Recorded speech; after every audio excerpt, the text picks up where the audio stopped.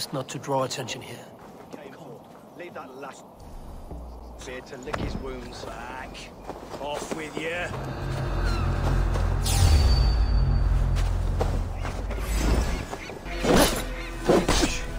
Shoot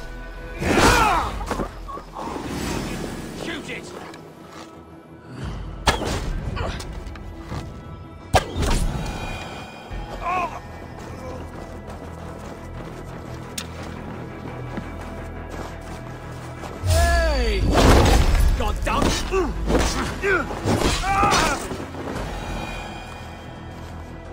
second bed. Alfida doesn't live alone.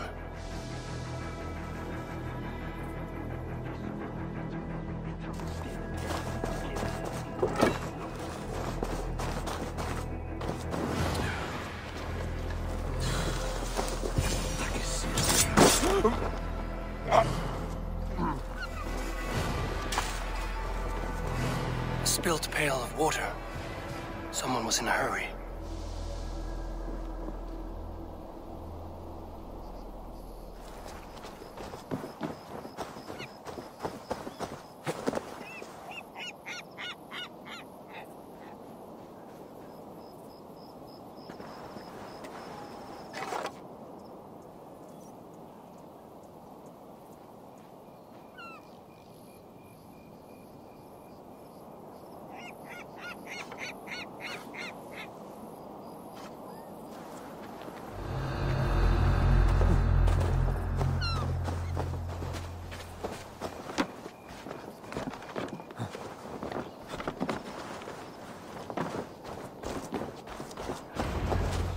Leave me be, Warmonger! You have my sister! Is that not enough?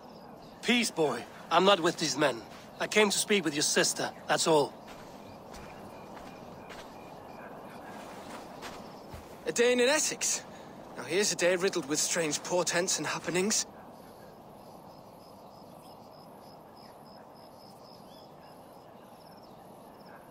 What is your name? I'm Ellerich, the man of this house. Who are you? And why have you come? I'm looking for your sister at the behest of another. Behest?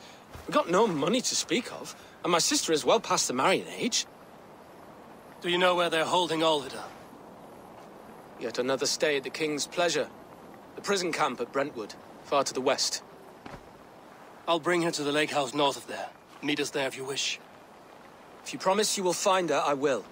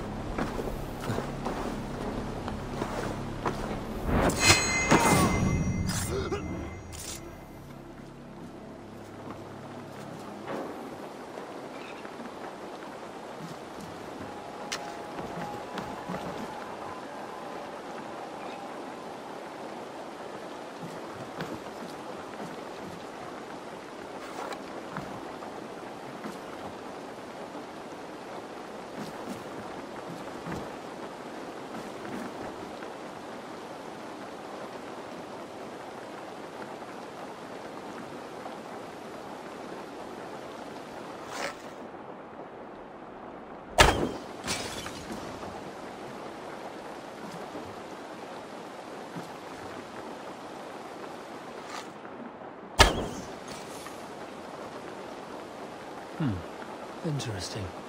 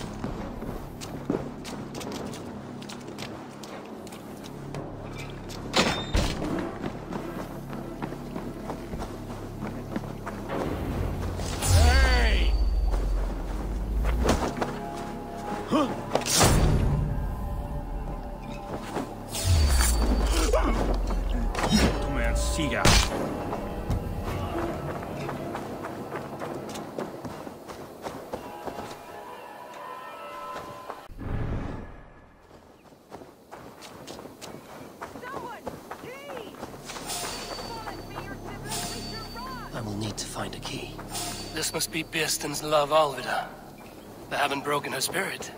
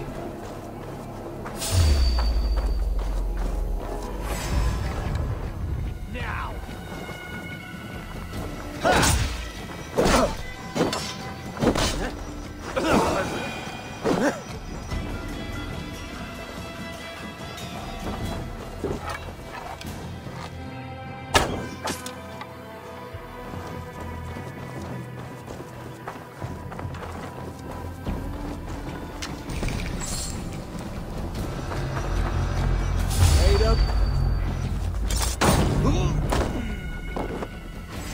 I'll kill you. God loves Come, me. brothers. Let's end this. God's justice awaits, coward!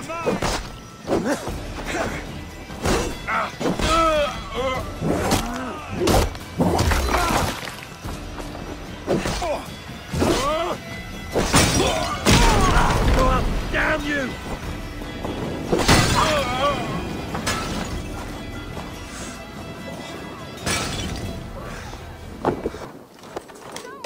Please!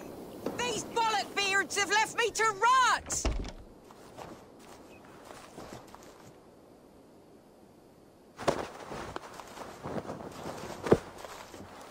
What? What is it? You're not one of them? Stay quiet. My ankle. They were not gentle with me. Then I will carry you. Who are you? Who risked so much to save me? A friend. Of Ellerich's? Is he all right? The poor boy? Not your brother. Someone else who wishes to rekindle a, a friendship.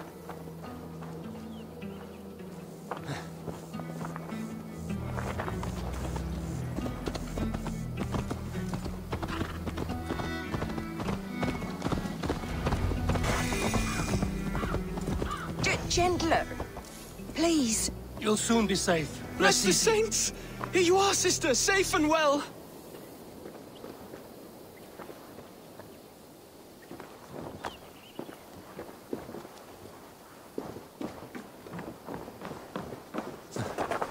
They beat me.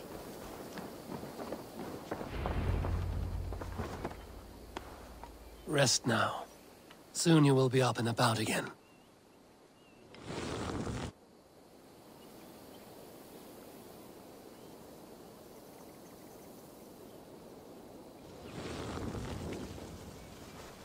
Alfida! Did they hurt you? Takes more than some cockshy milksops to break my will. Beating a boy half to death for stealing bread? I'll not see it done.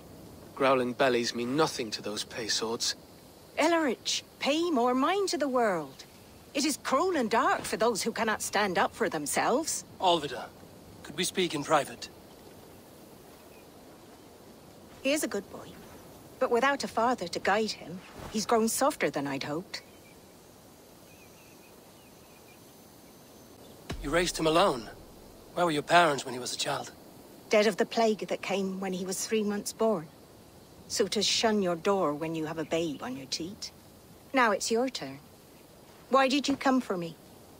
I'm here at the request of Ealdorman Birstan. He wonders if you could love him again. Love him. Dear old Birstan, he remembers. He does. I've thought of him sometimes myself.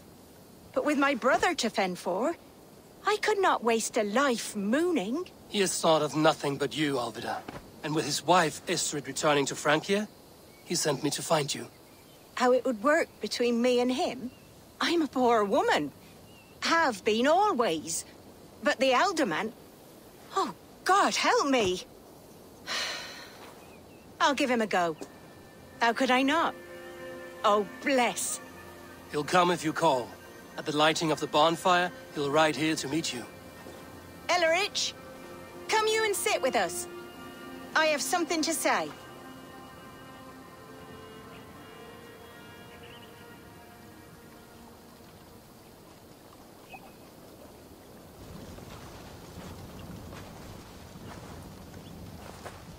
My... my apple blossom girl.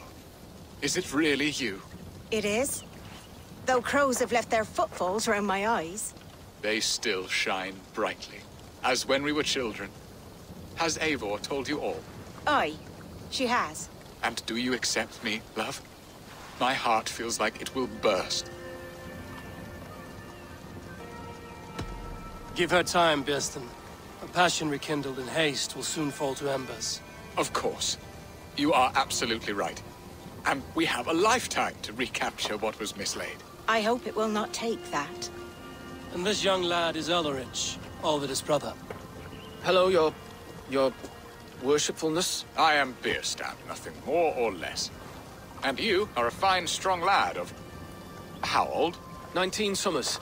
He's all the family I have, Birstan. If I'm to stay, you must welcome us both into your heart. We have one half of our bargain done, Birstan. I will return with news of the other. Does this mean we're leaving Maldon? You are, my boy.